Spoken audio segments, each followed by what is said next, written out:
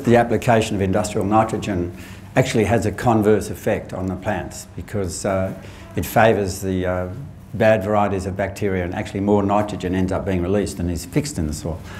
Um, Tammi mentions the word mechanical mind. What I do in, in, one of the early chapters, after I've sort of surveyed the um, why Australian landscape is so different to Europe where agriculture came from, is I, I track the evolution of the human mind over time. And, and if you think about indigenous people and then even the early medieval period, um, people still saw themselves as part of Mother Earth, as in, an indivisible component.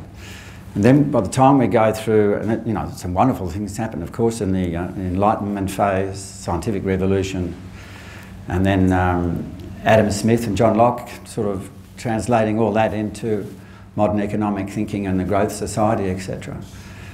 The shift in the uh, human mind had gone from being an indivisible part of Mother Nature, seeing ourselves as indivisible, to seeing ourselves as separate and capable of manipulating it for human ends and profit. And so that's really the essence of the mechanical mind.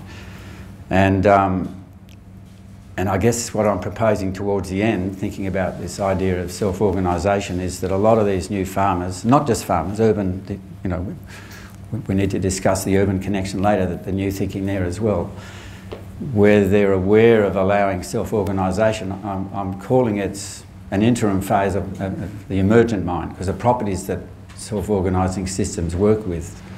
Those experiments are called emergent properties. And anyway, for want of a better word, that's, that's what I'm floating. It's a different mind. And um, what I've noticed in, in working with these, uh, I interviewed 80 odd regenerative farmers in the PhD, but a lot more since, is that um, they are thinking post-mechanical.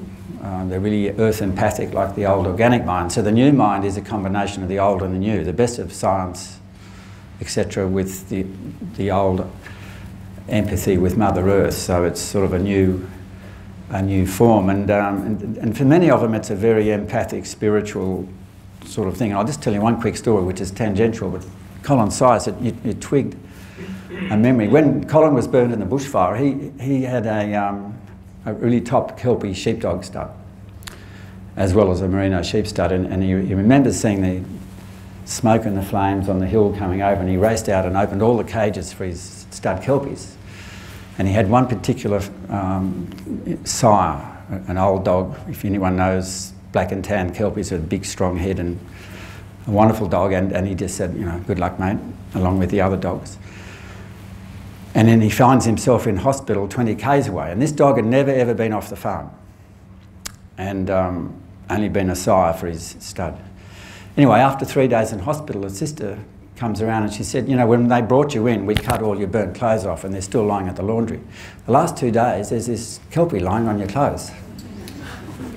And um, you know that, that, empathy between animals and humans, it's, it's, it's that other dimension. But uh, I don't think that's not in the book, but it's, uh, it's a very moving story. Gorgeous story.